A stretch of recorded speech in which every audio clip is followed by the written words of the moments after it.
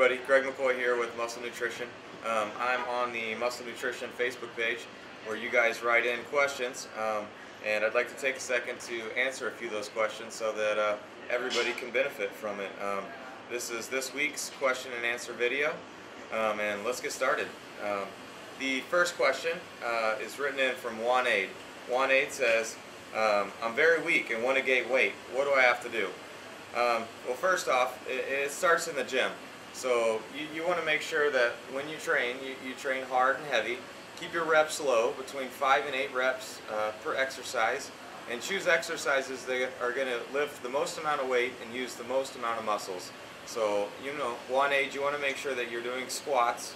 You want to make sure that you're doing deadlifts. You want to make sure that you're doing bench press, uh, shoulder press, uh, close grip bench press, and uh, straight bar curls. That just about covers every body part.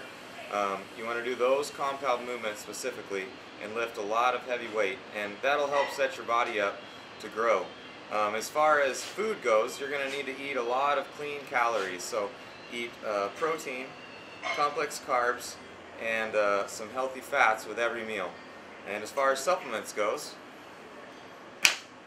uh, we'd start you off with uh, our, our product Muscle Gain, which is specifically engineered for uh, people like you that have trouble putting on weight. So, you know, when you start training, uh, your body's going to require calories to grow the new muscles. So, um, one to two shakes of these, two of these a day will help you put the pounds on that you need. Uh, the next question comes from Cigar. Cigar is 19 years old and asks, um, I want to do a competition. Give me a course of what I need to do. Um, Cigar, 19 years old is, is when I actually started bodybuilding as well. Um, I was only 155 pounds, which is about uh, 70 kilos. So, you know, it's never too early to start. Um, I recommend people to start competing. You know, if you've got the passion and the drive for it, don't be scared. Um, you know, you got to stick to your diet and uh, train hard, and, and it'll it'll change your body for the better. And you, you should love the sport of competing. Um, as far as nuts and bolts, how to do it, you know, you need to be training hard in the gym at least five days a week.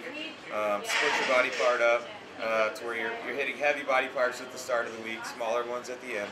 Um, I'd recommend doing your cardio on an empty stomach right when you wake up. Uh, I don't know what you look like, but uh, most people start with about 30 minutes um, of morning cardio. Uh, I'd like to recommend a product, amino syrup. Um, take two servings of this before you do your cardio, which will help you from breaking down uh, muscle while you're dieting. You don't have enough calories to sustain your weight, so you need to use aminos to help you maintain that muscle mass. Um, I'd also like to recommend um, ISO muscle. Um, as a competitor, you want to make sure that your protein sources are super clean.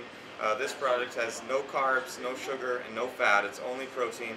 Um, you could take this for even two up to three of your meals, um, assuming you're getting in six meals a day. So go for it, uh, cigar. You should compete. Um, you know, stick to your diet and train hard, and take some good supplements. The next question comes from Sandeep. Sandeep says, I have very little time and need to work out in my home gym. How can I lose fat and gain muscle with a tight schedule? Sandeep, this is a problem that many people face. You know, with a busy work schedule, a busy family schedule, um, it's hard to make improvements to your physique. Um, if you've got a gym in your house, that's great and will save you some time there. Um, if you can train with weights as little as three days a week, um, you, will be able to make improvements to your physique. I'd recommend doing uh, an upper body workout followed by a lower body workout and just rotate them one on, one off. So you would go Monday upper body, Wednesday lower body, uh, Friday upper body again, and then when you go to the next week, start with lower body. So you'll be flip-flopping which which week gets uh, two workouts in. Um, uh, another thing that's uh, that you can do that save yourself a little time is um, find little spurts of time to exercise outside. Um, if if uh, if you're working downtown or or have a, anything that you need to travel, you can you know take some running shoes with you and and jog uh, in between appointments or um, just take a walk. You know, 30 minutes of walking a day will do uh, tremendous things for your waistline and body fat levels. You'll look better, feel better, and have more energy. Um, eating on the go is super hard for anybody. Um, when you have a tight schedule, it's, it's easy to grab something fast and unhealthy. Um, if you can eat three square meals a day, um, maybe breakfast before uh, you leave for work, um, a healthy lunch, and dinner when you get home. And then just sub in, uh, you know, one or two of these shakes a day, which will help you get the amount of protein you need to, to build some muscle on your frame. Um, protein also um, is hard to turn into body fat, so you'll be less hungry when it comes to mealtime and you won't tend to eat as much junk food.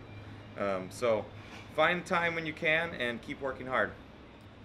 Okay, that's about all the questions we have uh, time for this week. Um, make sure you write in questions on the Muscle Nutrition Facebook page, um, and uh, maybe I'll answer yours next week. We'll be doing this every week, and uh, everybody can learn from everyone else's questions. So I'll, uh, I'll talk to you next time.